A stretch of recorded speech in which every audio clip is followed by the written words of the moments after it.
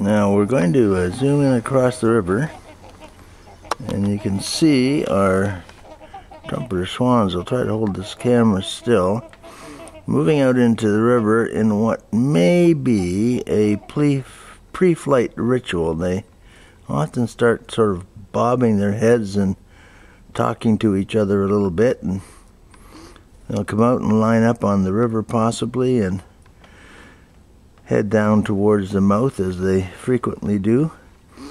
Probably float back here later for a snack. There are a number of people along the river that have been feeding them.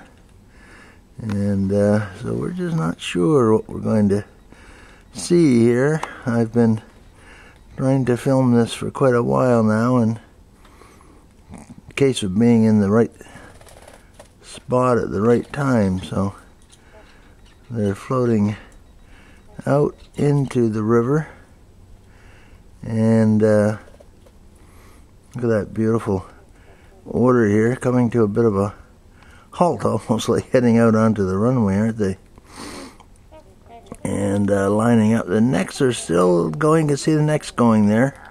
So I think they're still interested in getting ready for flight but well we certainly won't know for a few minutes to see the those are a couple of the immatures. There's three immatures out there, and uh, two adults, a mother and a father. The trumpeter swans are a bird that were uh, almost totally extinct back in the 1920s to 30s, and through a variety of programs across North America, were able to recover quite nicely and here in southern Ontario, we have uh, substantial numbers of pairs now, and they don't uh, always fly south south. Uh, I think because of the way they were brought up, and so they've landed here on the river that we live on in southern Ontario uh, for about four winters now, and we've been fortunate to see them uh, almost every day since uh, just before Christmas, and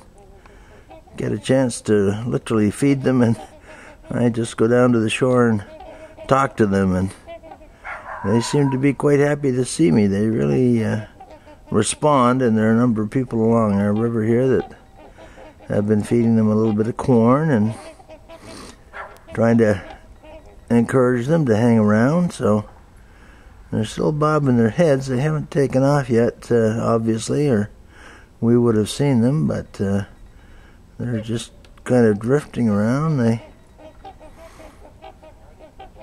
hope they take off before my film runs out, I guess would be the, the most important thing that could happen right now. They're there, and there they go. Oh my gosh, look at this. I don't know how well this is going to be on film, but by golly, this is one exciting moment. Just, whoa, stepped outside the door. I got my bush in the picture, and I think we might, they're behind that bush right now, and and just flying way uh, way down the river raw and well that's it was quick and we're gonna put that on the computer and see how it looked